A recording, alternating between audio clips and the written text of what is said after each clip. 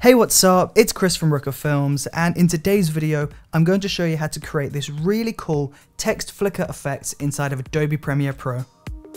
So once you've launched up Adobe Premiere Pro and you have your composition created, we need to begin by creating a brand new title.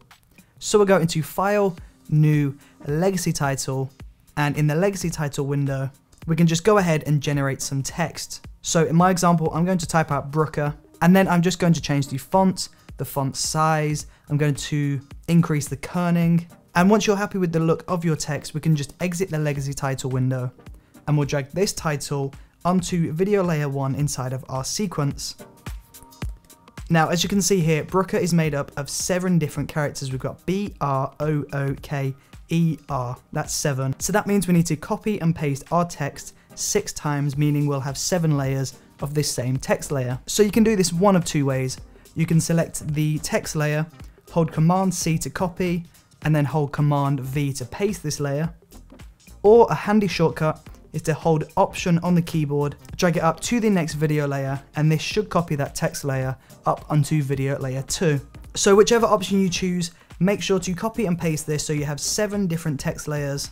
And then as soon as you've done this, we need to go ahead and isolate each individual character for a separate layer.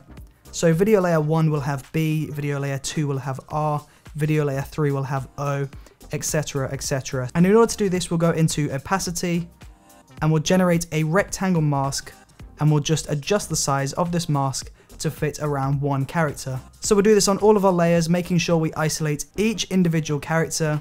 And as soon as you've done that, we should now have seven different layers each assigned to one character. Now from here we can go ahead and animate this text to flicker on and the way that we do this is by cropping the left of each individual text layer to a different point in time. So rather than hard cutting them on all at the same time, we can cut them at different places to make sure that the text comes on at different times. Now if you wanted to add a really cool flicker to a specific character then all you need to do is press C on the keyboard to load up the razor tool and then cut your video at one keyframe intervals. So make the cut, scroll across one keyframe, make another cut, one keyframe, another cut, one keyframe, and then just delete every other video. Doing this will allow one text layer to really animate on, it will really flicker on, and it will look really cool. So you can do this for multiple different text layers, and that's going to create a really cinematic flickering text. And now of course you can do the same thing at the very end of the text, so you can animate this on and off. And there you go. That is how you do the flickering animation text effect inside of Adobe Premiere Pro.